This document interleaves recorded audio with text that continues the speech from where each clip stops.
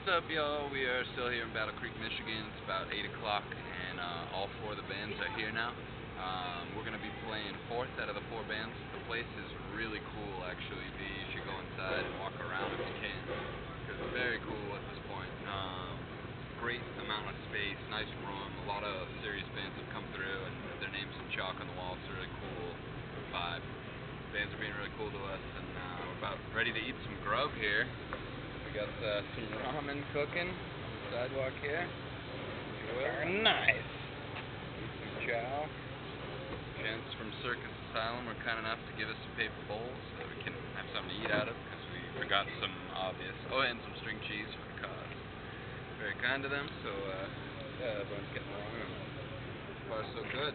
About to get some chow in and see what's happening, man. Just Take a tour of the venue.